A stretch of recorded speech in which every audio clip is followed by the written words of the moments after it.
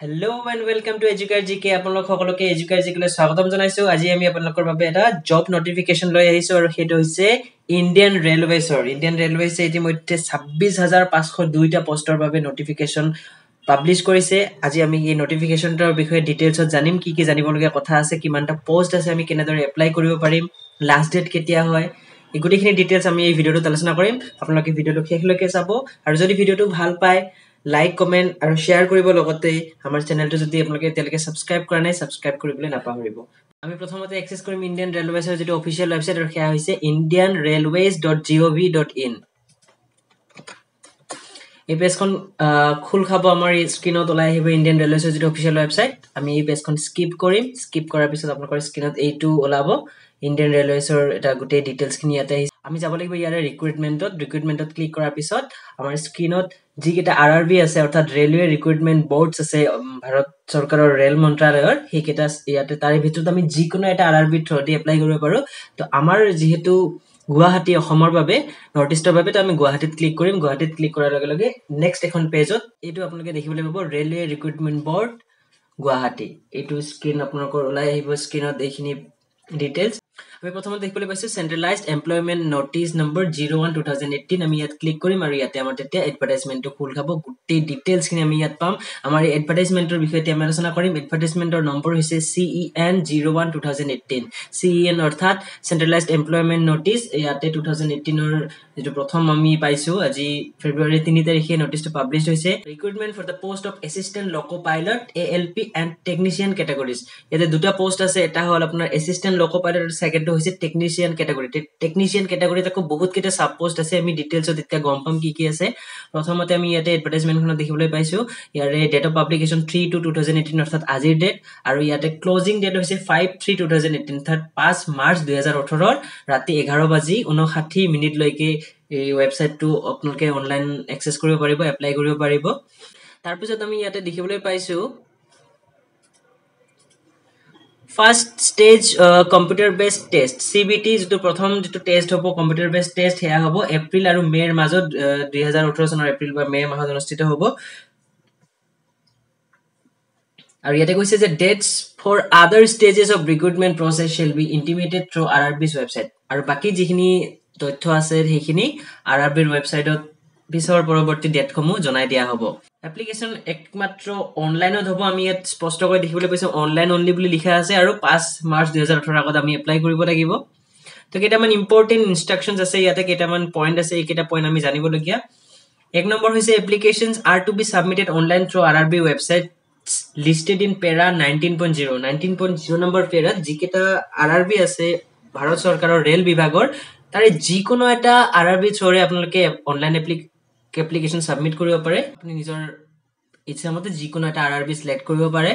আৰু ইয়াতে লিখা আছে one application only is required to be submitted for all the notified for all the notified post in this C E মাত্ৰ এখন online application কৰিব লাগিব আপোনালোকে। আমাৰ তিনি নম্বৰ পইণ্টত আছে candidates must ensure that they fulfil the prescribed medical standards for the post they are opting for. Candidates who are found medically unsuitable for the opted post shall not be given any alternative appointment. ইয়াতে important কথা হ'ল ইয়াতে আপোনালোকৰ যিখিনি medical standard তেওঁলোকে set কৰি থৈছে সেইখিনি যাতে আপোনালোকে ফুলফিল কৰে যদি কিবা কাৰণত এইখিনি আপোনালোকে কৰি নকৰে তেতিয়াহ'লে এপ্লাই নকৰিব কাৰণ এপ্লাই কৰাৰ পিছত কিন্তু আপোনাৰ কেণ্ডিডেটছৰ কেঞ্চেল হৈ যাব আপোনাৰ এপ্লাই কৰাখিনি এনেই যাব গতিকে আপোনালোকে গোটেই ডিটেইল নটিফিকেশ্যনখন ভালদৰে চাই ল'ব আমাৰ এইটো ভিডিঅ'ৰ ডেছক্ৰিপশ্যনত এই পি ডি এফ ফাইলটোৰ লিংক আমি এটাচ কৰিম। লগতে অনলাইন এপ্লিকেশ্যনৰ যিটো লিংক আছে অনলাইন এপ্লিকেশ্যন ক'ত কৰিব সেইটো আমি ইয়াতে লিংকটো দি দিম।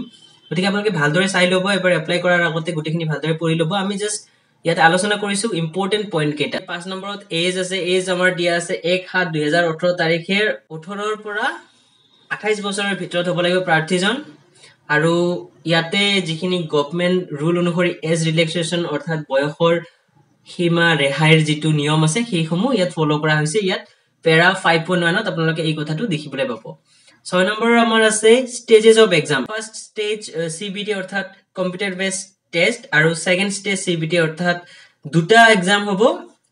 আৰু ইয়াতে দেখিছে common for A L P and technician A L P অৰ্থাৎ এছিষ্টেণ্ট লক' পাইলট আৰু টেকনিচিয়ান যিমানকেইটা পষ্ট আছে গোটেই গোটেইবোৰৰ কাৰণে কিন্তু এটাই কমন এক্সাম হ'ব। তাৰপিছত পৰীক্ষাত আমাৰ ন নম্বৰ পইণ্টত দেখিবলৈ পাইছো নিগেটিভ মাৰ্কিং থাকিব।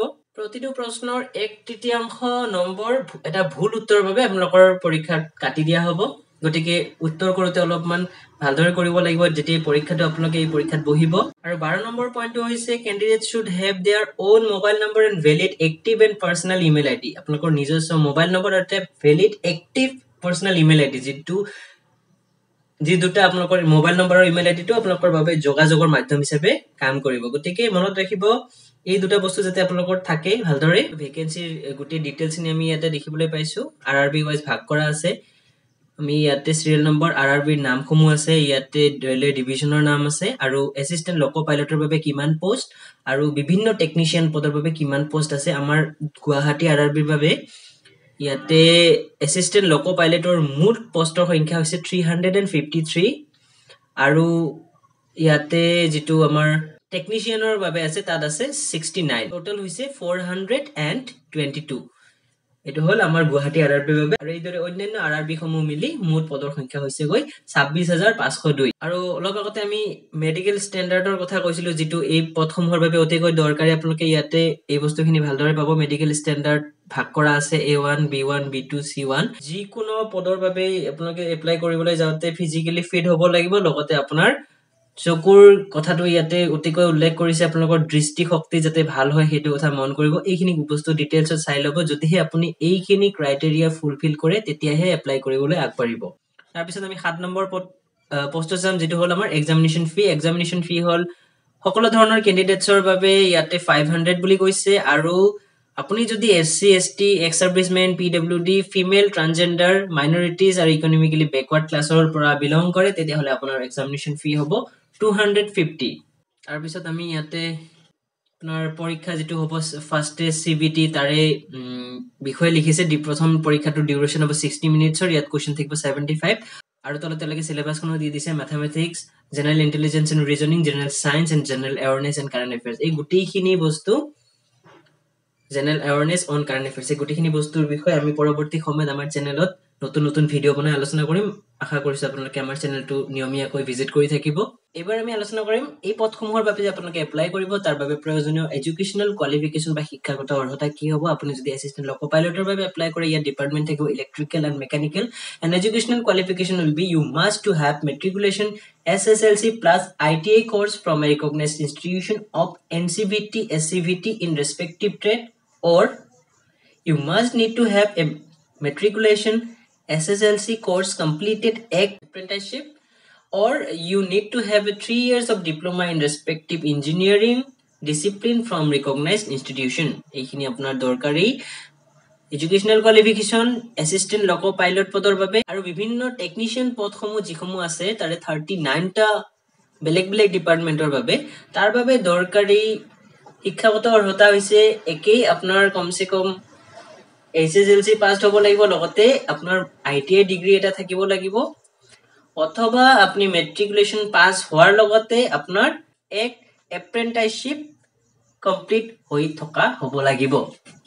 আনহাতে যদিহে আপুনি টেকনিচিয়ান গ্ৰেড থ্ৰী ছিগনেল আৰু টেকনিচিয়ান গ্ৰেড থ্ৰী টেলিকমিউনিকেশ্যনৰ বাবে এপ্লাই কৰে তেতিয়াহ'লে এই দুটা শিক্ষাগত অৰ্হতাৰ বিষয়ে ক'লো সেই দুটা থাকিলেও হ'ব। যদি আপুনি পদাৰ্থ বিজ্ঞান আৰু গণিত লৈ উচ্চতৰ মাধ্যমিক পৰীক্ষা উত্তীৰ্ণ হৈছে তেতিয়াও আপুনি এই পদ দুটাৰ বাবে এপ্লাই কৰিব পাৰিব। আৰু লগতে আকৌ এবাৰ আপোনালোকক এই অনলাইন প্ৰক্ৰিয়াটোৰ বিষয়ে থৰতে জনাই দিছো। ইতিমধ্যে অনলাইন এপ্লিকেশ্যন ষ্টাৰ্ট হৈ গৈছে থাৰ্ড ফেব্ৰুৱাৰী টু থাউজেণ্ড এইটিনত লাষ্ট ডেট হ'ব fifth March two thousand eighteen পেমেণ্টৰ last date fifth March two thousand eighteen by online or by S B I challan. আৰু যদি আপুনি পষ্ট অফিচ চালানেৰে কৰে তেতিয়াহ'লে তিনি মাৰ্চ হ'ব ইয়াৰ লাষ্ট ডেট আনহাতে এক্সামৰ ডেট এপ্ৰিল বা মে' টু থাউজেণ্ড এইটিনত হ'ব। আনহাতে বয়সৰ সীমাৰ কথা এক সাত দুহেজাৰ ওঠৰ তাৰিখ হিচাপত ওঠৰ বছৰৰ পৰা আঠাইছ বছৰ হ'ব লাগিব। এছ ৰিলেক্সেশ্যন এছ টি এছ চিৰ বাবে five years O' B C non ক্ৰিমিলেয়াৰৰ বাবে থ্ৰী ইয়াৰ্ছ আৰু person with disabilities ten years to friends এয়াই আছিল আজিৰ ভিডিঅ'টো য'ত আমি ইণ্ডিয়ান ৰেলৱেৰ বিভিন্ন পদৰ বাবে ছাব্বিছ হাজাৰ পাঁচশ দুইটা পষ্ট যথেষ্ট সংখ্যক পদৰ বাবে তেওঁলোকে এডভাৰটাইজমেণ্ট দিছে। এতিয়া কথা হ'ল আমি যিসকলে এপ্লাই কৰিব পাৰোঁ নিশ্চয়কৈ এপ্লাই কৰিব লাগে আৰু তাৰ বাবে প্ৰিপেৰেশ্যন ল'ব লাগে। আশা কৰিছো আপোনালোকে ভিডিঅ'টো ভাল পাইছে। যদি ভাল পাইছে লাইক শ্বেয়াৰ কমেণ্ট কৰিবলৈ নাপাহৰিব। লগতে ছাবস্ক্ৰাইব কৰি আমাক উৎসাহিত কৰক। আজিৰ ভিডিঅ'টো ইমানতে শেষ কৰিছো।